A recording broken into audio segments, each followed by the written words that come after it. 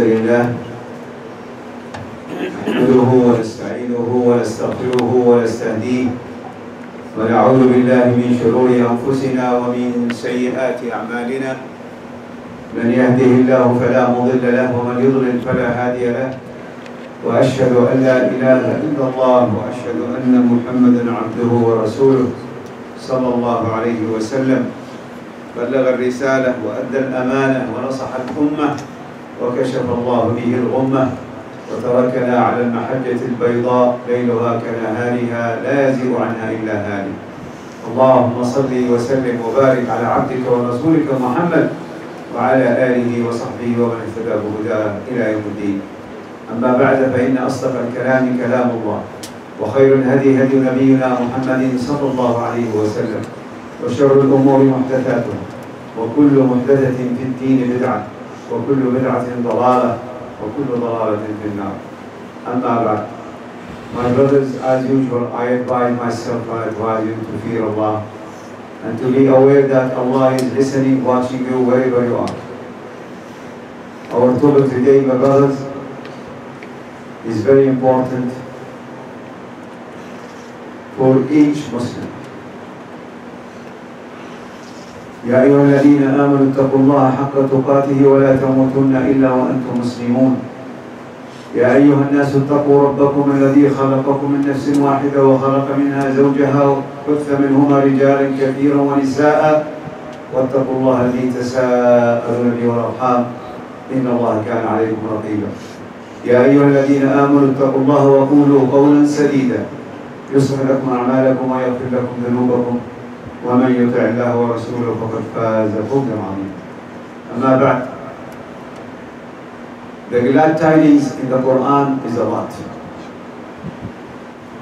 We have many verses which make the Muslim very happy and he really make him trust in Allah and will have hope that Allah will be forgiving. Same thing in the hadith of Rasulullah sallallahu alayhi wa sallam. There is a lot of hadith that also glad tidings for us and give you also, you know, the hope that Allah subhanahu wa ta'ala is also forgiving and very merciful.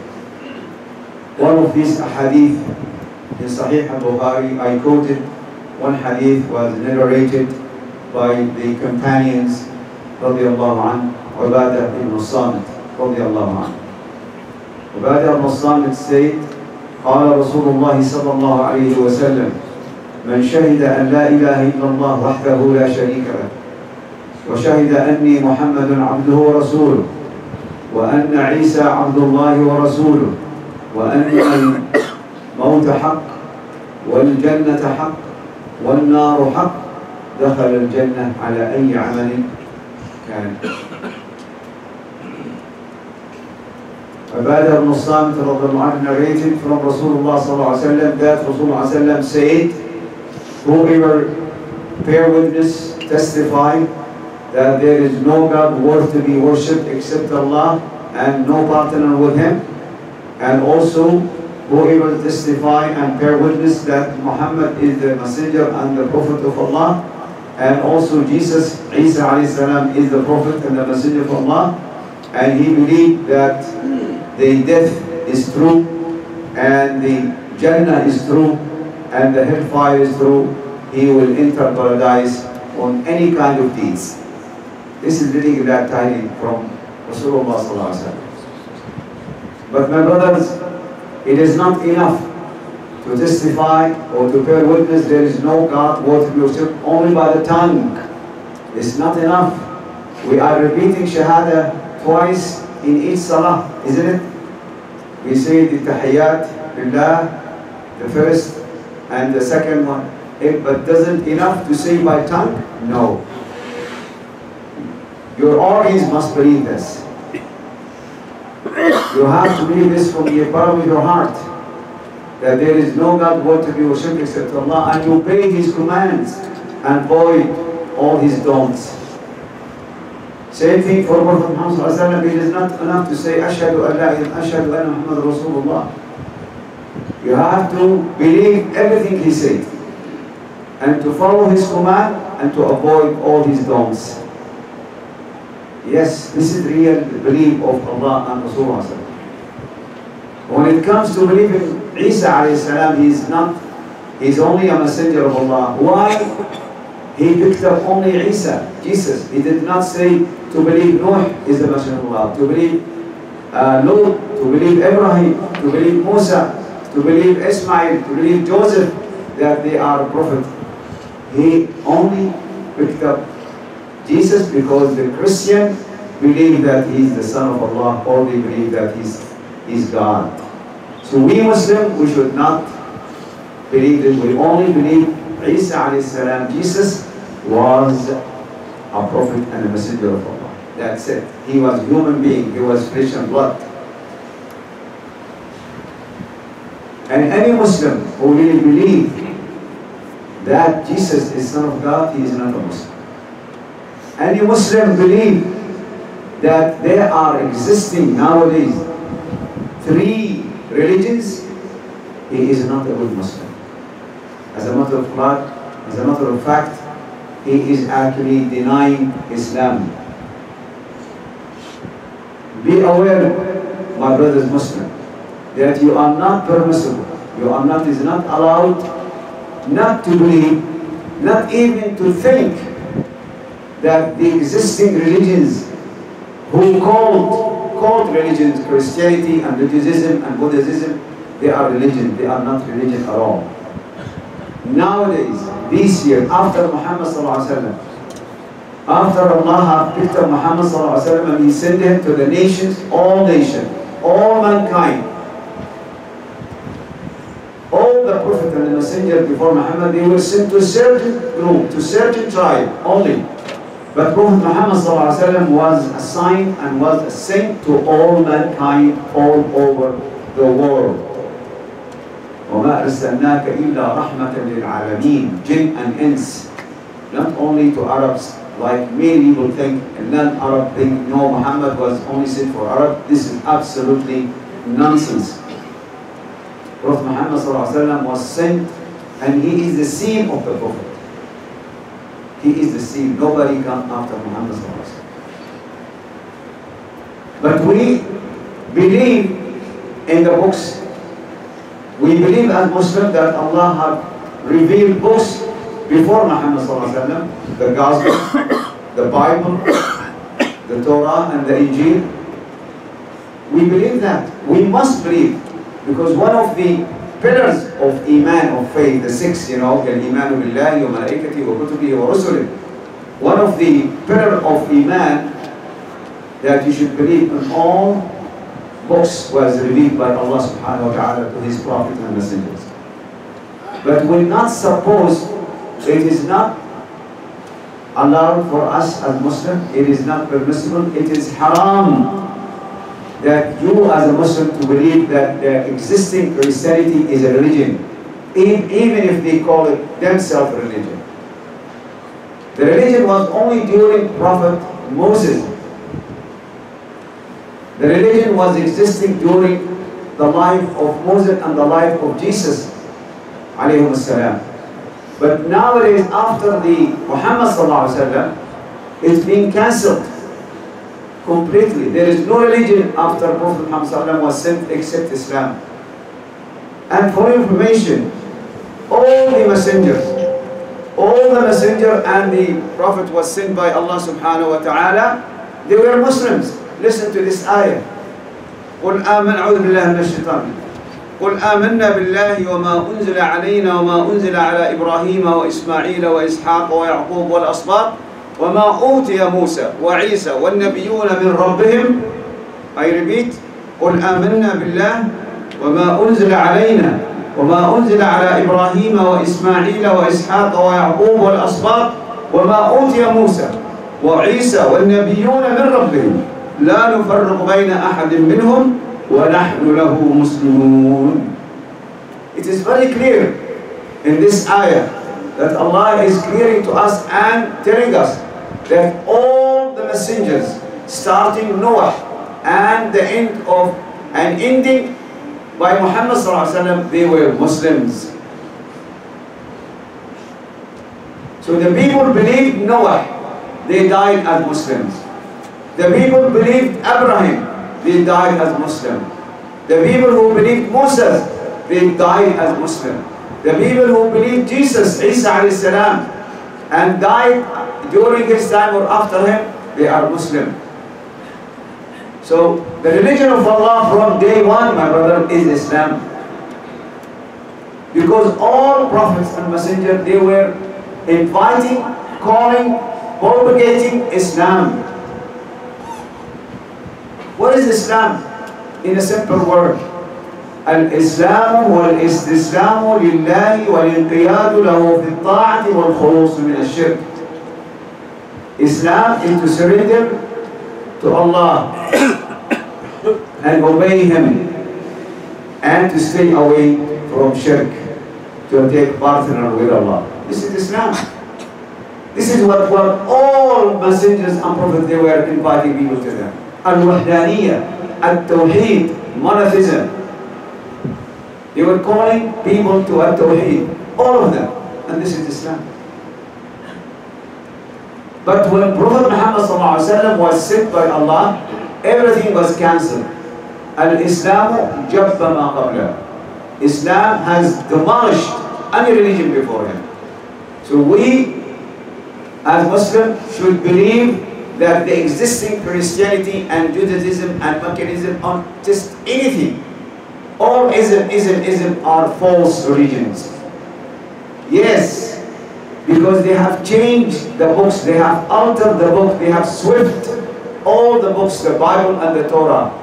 It is the existing Torah, the existing Bible is not true. Because Jesus has and Moses never ever asked people to believe that he was God or Son of God. And the crucifixion is absolutely false. So the Christians are worshipping Jesus like Son of God or God. And they are worshipping the cross. Their sign of Christianity is the cross. Because they believe that Jesus was crucified. And we have in the Quran denied that completely, neglecting that Jesus was crucified. Very clear in the Quran. So you as a Muslim, my brother, you have to believe deeply out of your heart there is no religion existing after Muhammad was sent except Islam. And be aware that any Muslim believe that Christianity existing nowadays or Judaism or anything isn't is a religion, he doesn't believe in Allah and he may be kafir. أقول ما تسمعون واستغفر الله لي فاستغفروه إنه هو